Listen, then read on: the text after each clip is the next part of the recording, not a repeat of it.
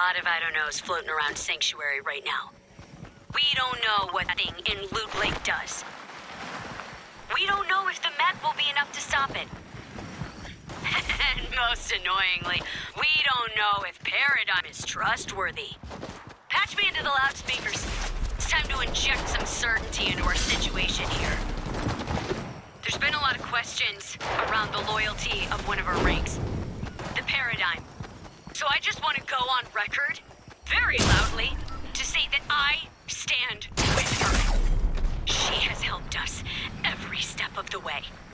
To judge her based on rumor? Well, it's criminal.